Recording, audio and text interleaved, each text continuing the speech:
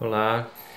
o Guilherme me, me ajudou muito a voltar a uma organização né, ideal de estudo, onde eu tinha muita preocupação de otimizar o tempo que eu tinha livre, né, que não era muito, visto que eu estou trabalhando na Polícia Rodoviária Federal e tenho família, né, é, esposa e filho, então precisava otimizar cerca de três ou quatro horas que eu tinha no dia para realmente estudar forte para concurso. Então foi fundamental essa ajuda é, do Guilherme, que ele se destaca muito né, em, em novos novas formas de absorver conhecimento e ele me propôs muita coisa. Apliquei né, os ensinamentos ali, tanto em termos organizacionais, como foi o caso de contabilizar muito bem o tempo para cada matéria, né, mas também seguindo é, as, as sugestões diversas de absorção de conhecimento assim como também as formas de estudo, que seria basicamente exercícios, né? estudo propriamente dito com livros e também estudo de jurisprudência